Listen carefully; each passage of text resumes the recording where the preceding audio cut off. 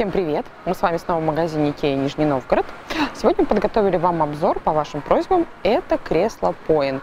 Покажем, расскажем, покажем в разрезе каркасы, ответим на все вопросы, которые вы задавали нам ВКонтакте в личку и писали а, в комментариях на канале комментарий к обзору. Пойдемте смотреть. Сначала хочу вам детально рассказать вообще, что такое кресло Point, а потом уже перейдем к комбинациям, цвету, подушкам. Значит, смотрите, друзья мои. Ну, возьмем первый попавшийся каркас, да? Какой из них взять? Ну, давайте вот на детском, да, на детском попонятнее, светлое, оно закрепленное. Значит, смотрите, что из себя представляет кресло. Вот показываю сейчас, кстати, детское. Детское стоит 2 999, подушки только такого вида, только изменяются по цвету. Есть салатовые и розовые. Значит, это каркас, отдельно продающийся. Ну, мы про взрослое кресло сейчас говорим, да, у детского эта комбинация целиком продается. И подушка. Вот давайте начнем с каркаса. Что это такое? А, каркасы делятся вот на такие прямые каркасы, то есть они пружинят под вашим весом. И есть кресло-качалки. Вот они, кресло-качалки. То есть здесь вы полноценно покачиваетесь, как вам удобно. Теперь давайте рассмотрим, что вообще представляет из себя каркас. Потому что на сайте э, при дистанционной покупке, да вообще не важно, как бы, ну, мало кто рассматривает, да, что внутри. Вот мы нашли один такой образец каркаса, из чего он сделан, который можно спокойно открутить и вам показать. А, как заявляет производитель, так это и есть. Это многослойный шпон. То есть, грубо, ну не фанера, а аналог фанеры, да, которые склеены большим-большим количеством клея и много-много слоев. Если бы это было целиковая конструкция, то есть вот это было, то, допустим, вот этот кусочек болвашки был не из слоеных, как пирог, да, а из целикового массива, то есть, ну, там, кусок дерева, грубо скажу, он бы так не пружинил, и плюс он очень быстро бы развалился, то есть износостойкости не было бы такой. А Икея дает гарантию на нормальный износ каркаса 10 лет. То есть в течение 10 лет он, в принципе, у вас не должен треснуть, развалиться, сломаться. Но, конечно, на десятилетний срок гарантии не распространяется на потертости, которые возникают, на какие-то следы. То есть все, что такая, как бы называется, естественная эксплуатация. Значит, каркасы у нас дели... каркас у нас трех цветов. Вот такой вот коричневый. Нет, кстати, четырех черно-коричневого нет, но мы сейчас его найдем так. Э, березовый и белый. Пойдем сейчас найдем черный каркас черно-коричневый. А, вот же они черно-коричневые, да. И вот черно-коричневый. Здесь на мою камеру видно.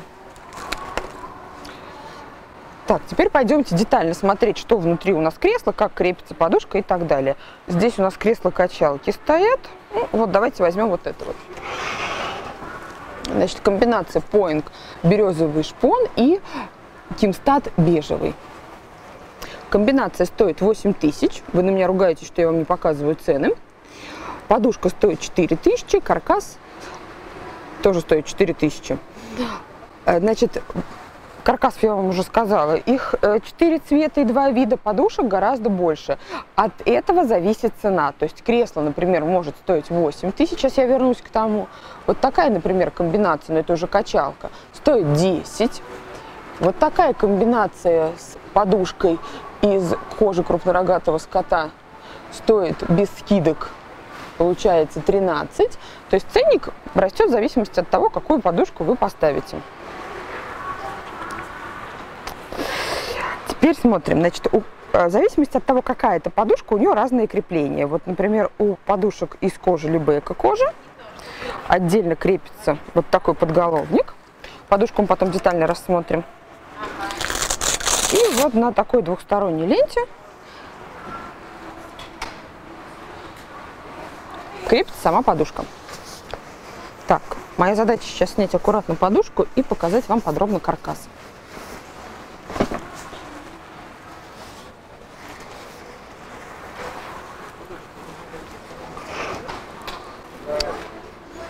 Так, продается это все в небольшой компактной коробочке, то есть спокойно можно увезти в легковой машине домой, ну, либо на такси, если недалеко.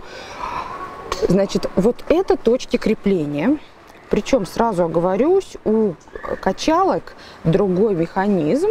Мы вам его покажем. Там есть нюансы и периодически возникает брак. Значит, вот они, четыре точки крепления. Здесь у нас мебельным степлером натянута основная ткань. Она плотная, но при этом не рвется под вашим весом. Протестировано до 110 килограмм, 170, кстати, Кей заявляет. Но у нас родственник в новогодние праздники сидел на таком кресле, вес у него 100 килограмм, мужчина крупный. Кресло живо, но кресло поскрипывало с печалью в голосе, что ему было тяжело такой вес выдерживать. Поэтому здесь учитывайте да, моменты, что все-таки не до бесконечности вес человека может выдержать это кресло. Дальше смотрим. Вот такие точки крепления боковых частей кресла. То есть отдельно вкручивается каждый. Ребят, реально это плюс. Когда вот это все на клею, вот эти вот части, вот эти части. В процессе эксплуатации, как показала наша практика, как служба доставки, все это вываливается. Вес разный, эксплуатация разная. Кто-то сел неаккуратно, кто-то подпрыгнул, у кого-то ребятишки покачались неудачно. И если это клеевое, это вываливается. Поэтому обращайте все-таки внимание, каким образом, либо уточняйте у своих посредников, каким образом все это дело крепится у каждого каркаса. Так, перевернем. Теперь смотрите изнутри. Все это же ткань, здесь все прострочено, то есть плотный хороший шов, при этом я думаю, девчонки меня поймут, если что-то порвется, все вполне можно своими силами, то есть если это будет не гарантийный случай, либо срок уже большой пройдет, можно будет самим отремонтировать. У нас есть такое кресло, ему уже порядка пяти лет, покупали, когда ждали младшую. Честно, просидела в нем всю беременность и пока кормились. Было очень удобно. Так, вот это вот такие стопорки, чтобы кресло не ехало никуда.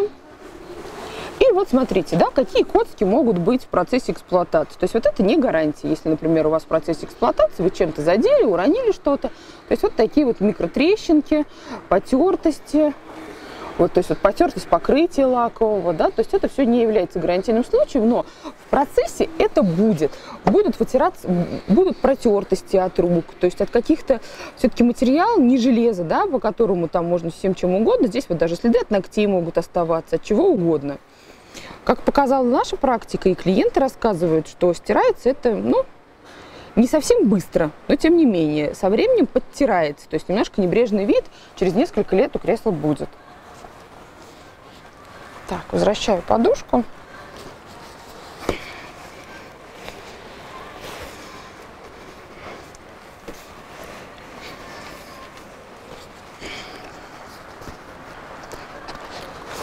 Сейчас расскажем про каркас качалки, а потом к подушкам перейдем.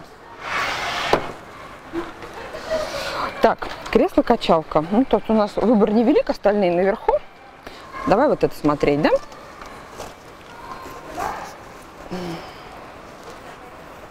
Так, здесь не особо удобно отстегивать, поэтому возьмем, наверное,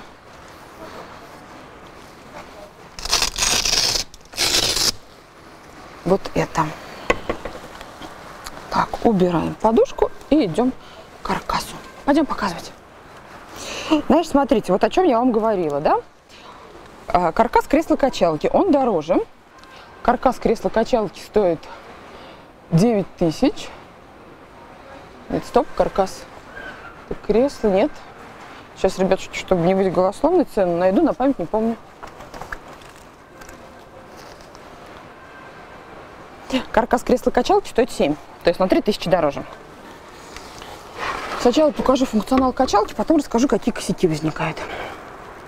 Значит, вот эта изогнутая часть, за счет чего кресло может качаться. То есть спокойная, хорошая качалка, которая, в принципе, не переворачивается, да, и не, так вот, ну, не ходит под вашим весом туда-сюда. То есть в плане раскачивания она шикарная. Теперь нюансы. Если сравнивать каркас кресла-качалки и обычный каркас кресла Point, вот здесь сразу видно, что все вот эти крепления не вернуты, а просто вклеены. У нас не особо давно, по осени, была проблема у клиента. Несколько раз мы меняли ему каркас э, крес, э, качалки. В итоге остановились на том, что поменяли на обычные. Расскажу, что было. Значит, э, в процессе эксплуатации, причем эксплуатация небольшая, буквально в течение двух дней, э, он, допустим, от нас в пятницу забирает, а в понедельник у него же эта проблема появляется. Здесь вот сложно показать, но я попробую. Вот смотрите, а вот, кстати, ее даже видно, да? Вот в этот паз Э, эта часть просто вставляется. Грубо налили клей и вставили, зажали, да? У кресла более надежная конструкция, и от того, как вы сядете, она не будет гулять. Здесь же буквально очень быстро все это расшатывается, выпрыгивает, и кресло начинает скрипеть. Поэтому, если у вас есть уже кресло-качалка Poing, и она у вас скрипит, посмотрите, пожалуйста, вот это место крепления. Это гарантийный случай. Ребят, гарантии 10 лет. Если у вас скрипит, дуем в магазин, либо к своему посреднику. То есть двух сторон это одинаково. Я, честно, не понимаю, почему у похожих кресел, хотя у них, ну, сидушка, да, одинаковая форма, вот эта вот часть, почему нельзя сделать вот так? Почему нужно именно вклеивать? Вот по этим частям сказать ничего не могу, потому что нареканий в процессе эксплуатации не было ни у кого. Но опять же, сюда не идет нагрузка. Основная нагрузка идет на низ, поэтому оно и выпрыгивает. Еще такой момент хочу отметить. Очень часто эти кресла берут э, в соляные пещеры. Они сейчас распространены во всех городах. И как показала наша практика, самый оптимальный э, цвет для соляных пещер – это береза. То есть на белом, коричневом и черно-коричневом со временем на белом появляется желтизна от соли, на коричневых разводы белые. А вот именно вот этот вот березовый каркас, он сам по себе с желтинкой, с такой вот, ну даже не желтинка, а вот этот вот такой мягкий оттенок, на котором разводы соли незаметны. Это уже делились наши клиенты именно своими отзывами.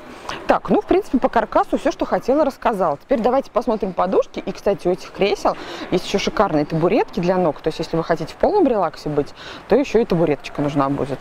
Так, подушки. Как подушки будем показывать или по тканям расскажем? Я думаю, да, это будет более удобно. Значит, смотрите, отличается все это цветом и самой фактурой ткани. Подушка Хиларет антрацит. Так, ну вот, кстати, удобнее бы, наверное, было и показывать, да? Да, вот Хиларет антрацит. Ну, в принципе, друзья мои, смотрите, сейчас у Ики если раньше были поинги вот такого принципа, то есть вот с такой подушкой, это самое бюджетное кресло Пэлла, оно, кстати, жутко неудобное, на нем посидел, пока к обзору готовились, мне не понравилось. Вот с таким, вот с такой накидной частью сейчас такого нет. То есть сейчас везде вот такие вот подголовники, что вы садитесь, и голова удобно располагается, то есть комфортно, ничего нигде не прыгает. Так, теперь давайте по тканям. Хилорет антрацит. Состав ткани. Опять же, вы все это можете прочитать на сайте. Здесь хлопок, полиэстер, искусственный шелк и лен. Хорошая износостойкая ткань. Ткань будет на подкладочке, но все это будет внизу, внутри вы это не увидите. И вот такая вот плотная рогожа. Кстати, по цвету неплохо сочетается с фрихитонами, да, с диванами. Я думаю, симпатично будет смотреться. Если, например, Страдмон не нравится, а вот это кресло больше устраивает, рядом они неплохо смотрятся. Так, еще обращайте внимание, сушить ой, сушить, стирать э, чехлы можно, но если вы не соблюдаете рекомендацию, стираете не на той температуре, пересушили чехол, ребят, одеть очень сложно, честно. Мы уже пробовали, у нас была до этого бюджетная подушка, вот как я вам показывала на кресло Пелла бежевого цвета, мы ее два раза стирали, плюнули, в итоге купили вот такой Хилларед антрацит, шикарная подушка, мне это очень нравится. Но, кстати, эта подушка сиденье, табу... цена подушки для табурета, для кресла, она будет дороже. Так, ну мы сейчас рассматриваем саму ткань, поэтому едем дальше. Шифтебу коричневый. Кстати, вот он тоже хорошо с фрихитом сочетается. Вот у меня почему-то камера засвечивает. То ли я под лампочкой, вот более-менее вот здесь, наверное, перед цветопередачей то светловато. Ну, посмотрим, что на второй камере даст. Так, такой же шифтебу темно-серый. Сравнить хочу показать вам, потому что на сайте вот этих моментов не видно. Вот как выглядит антрацит и темно-серые цвета они все-таки разные. Часто обращаются по этому поводу, просто показать, как это выглядит. Угу.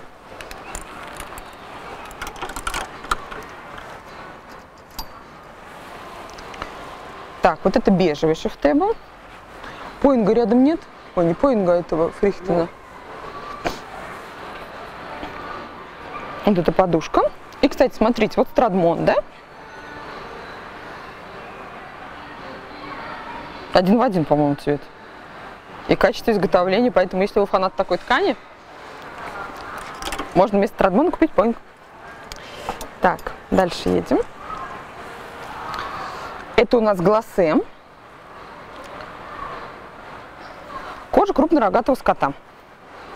Еще такой момент, когда покупаете подушки из натуральной кожи, пожалуйста, их осматривайте. У нас у клиентов были проблемы, то есть э, раз, привезли домой, развернули, кресло собрали, и такие вот пятнышки внутри, да, то есть либо пятнышки, либо грубые части, которые в процессе эксплуатации будут вытираться, поэтому тоже являлось браком, мы, то есть все это обменивалось. Давайте сейчас покажу я еще на свою камеру. Такая вот кожа.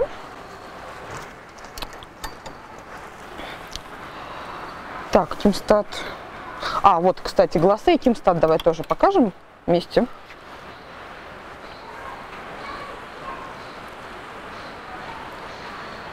Это натуральная кожа, а Кимстат, если мне не изменяет память, искусственная.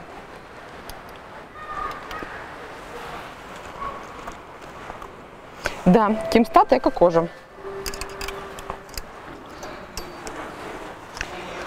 Шифтебу темно-синий.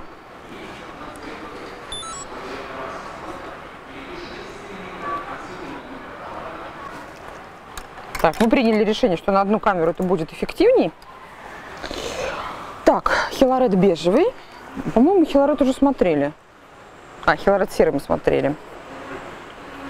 Хилорет и шифтебу отличаются плетением. То есть у хилорет более крупный, у шифтебу, вот даже если, допустим, вот сравнить, да, вот в сравнении, это шифтебу, это хилорет.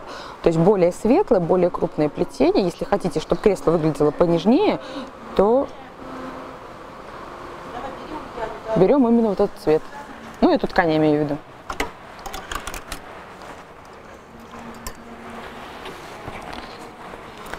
Так, кто у нас? Это Кимстат бежевый, эко-кожа.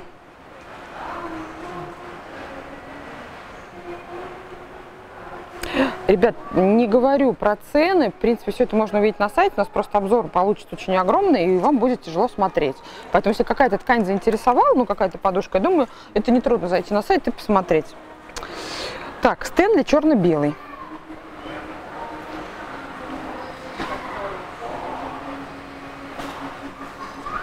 Наша задача вам сейчас показать структуру ткани, чтобы у вас было понимание, подходит вам это или нет. Хиларит темно-синий.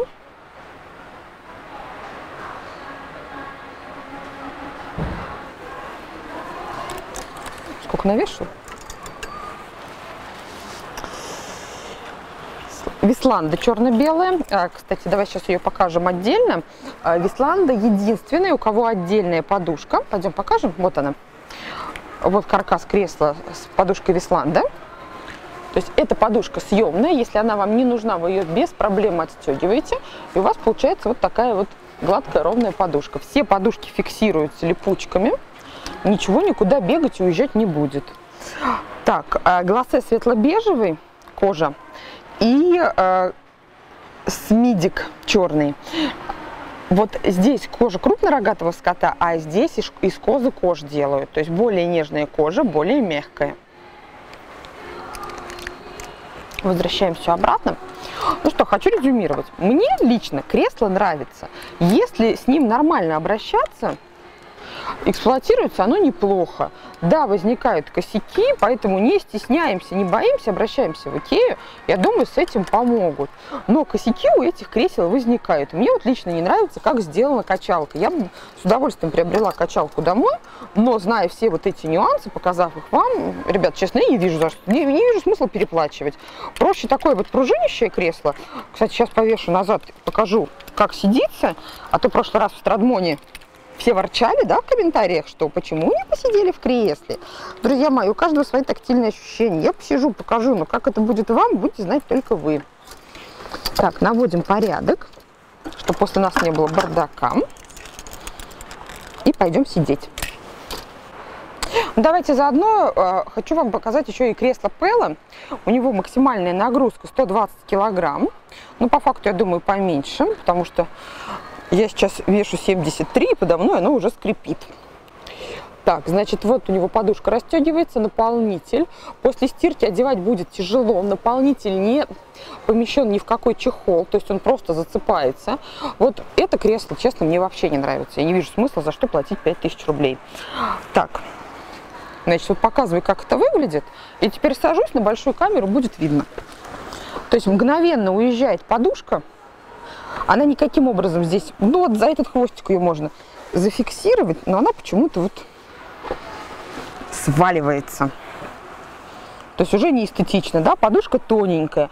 Ну, чем покупать Пелла, лучше не покупать ничего, либо взять поинг. То есть небо и земля. Да, оно вроде бы пружинит, но вот этого эффекта расслабления, как в поинге, в этом кресле нет.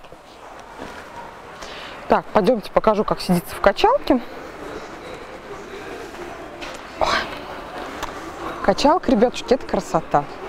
Доделайте, пожалуйста, нам ее до ума, и я думаю, продажи по этому креслу вырастут в разы. Потому что, как показала практика, качалку вот многие не берут из-за того, что она с такими вот нюансами. Так, еще момент, смотрите, не все подушки вот здесь фиксируются, да, то есть вот тут вот на липучке все хорошо, а нижняя часть гуляет, и поэтому вот когда встаешь, подушка немножко убегает. Но я думаю, барышни у нас все с руками, зафиксировать, э, нашить дополнительную ленту, проблем не будет, чтобы она не бегала. Так, и обычное кресло. У нас, кстати, вот такая же комбинация дома, черно-коричневый каркас и вот такая же подушка. Тоже все хорошо, комфортно. Давайте я отодвину, чтобы было понимание, как это пружинит. То есть в таком вот расслабленном состоянии можно посидеть и покемарить. И еще мы табуретки не показали, их тоже надо показать. Вот, видите, встала, и она за мной поехала. Теперь смотрите табуреточки. Сам каркас табуретки стоит 2000. Ну и цена подушек варьируется от полутора до, до трех. Даже, по-моему, на кожатой подороже. Значит, у нас здесь. Здесь у нас на хорошей липучке подушка. Вот она деревянная фанерная часть. Тоже гарантия 10 лет. Вот, кстати, хочу показать. Как звучит все это? Формованный многослойный клееный шпон с отделкой. Сверху покрыт березовым шпоном и прозрачным акриловым лаком.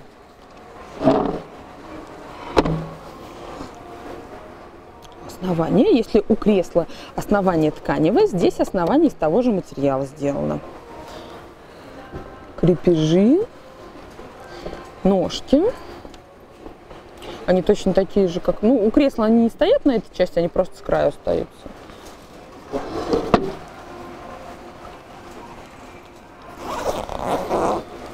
Вот смотрите, да?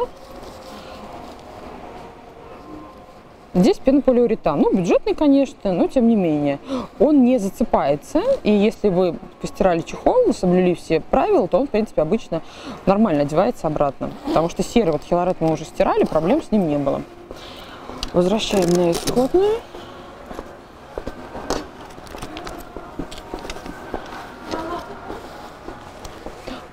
По креслам Point мы вам показали, рассказали все. Ждем ваши комментарии, обратную связь, а мы пойдем снимать еще один обзор.